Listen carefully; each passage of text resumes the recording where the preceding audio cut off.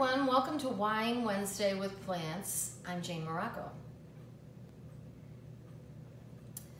Today I wanted to talk about one of my favorite plants and you know I think I say that every week because actually all the plants are my favorite plants but I really really do love this plant in particular because it's called the friendship plant and um, it, it, it does actually have a lot of other nicknames too the UFO plant um, the pancake plant.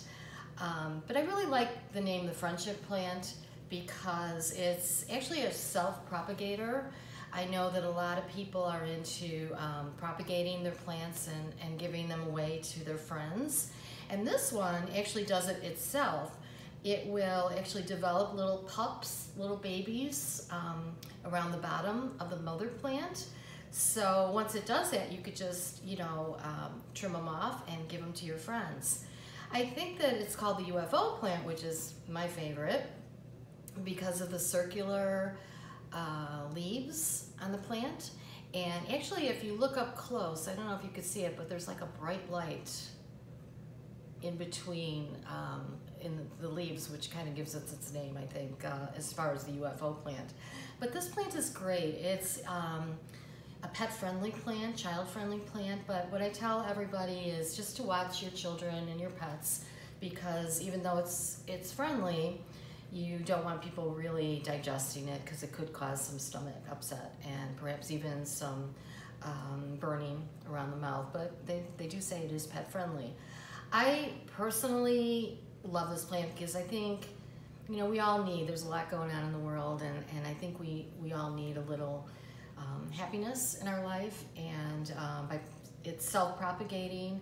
I like the idea that you can give it to your friends too so they can also enjoy it. The thing about this plant though is you want to keep it in, it's easy to take care of, but you want to keep it in indirect bright light because just like people, if you put it in the sun, it will sunburn. And I water it, it depends on where you live, um, but I like to water it when um, usually around our house it's once a week, but I think you could go longer, just like I said, it depends on where you live. But when the soil is totally dry, then give it a really good drink. And it also likes humidity.